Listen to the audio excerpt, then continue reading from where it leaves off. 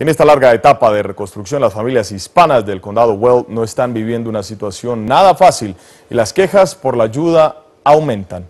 Pasemos en vivo con mi compañero Rafael Enríquez desde nuestra sala de redacción que nos tiene más detalles. Rafael, pasaste todo el día en Grilly, ¿qué te contaron algunas familias afectadas?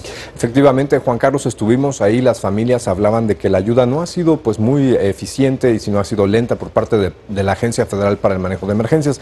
Las inspecciones y los reportes también no han sido del todo correctos.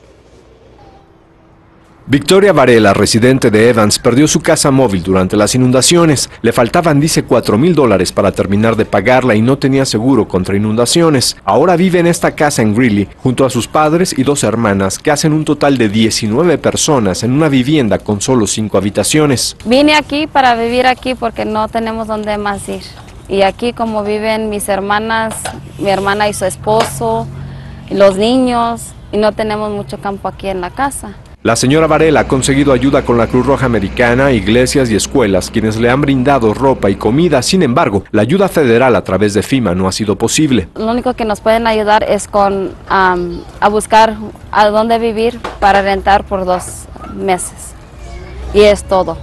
Dijeron que mi seguranza tiene que ir a ver a la casa para ver si van a poder ayudarnos o no. Y es que el mayor problema que enfrentan es no ser propietarios de sus viviendas. Dijeron que porque no tenemos el título en nuestro nombre y todavía estamos pagando a la casa, a lo mejor no nos van a poder ayudar.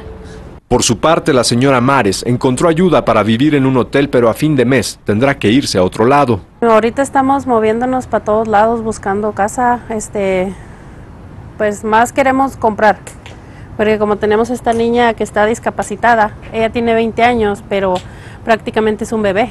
Y sin dinero para un enganche, la situación es más que complicada. Para agarrar las, las casas están pidiendo 4 mil, 5 mil, hasta 8 mil, 10 mil dólares de, de entre.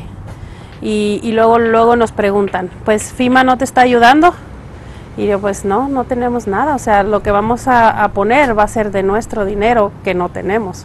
Y es que los reportes no han sido correctos, afirma esta madre de familia. El supervisor que había ido a, mirar la, la casa de nosotros que se dañó, puso en el reporte que había sido por granizo el daño, no puso que había sido inundación. Ese es el primer error.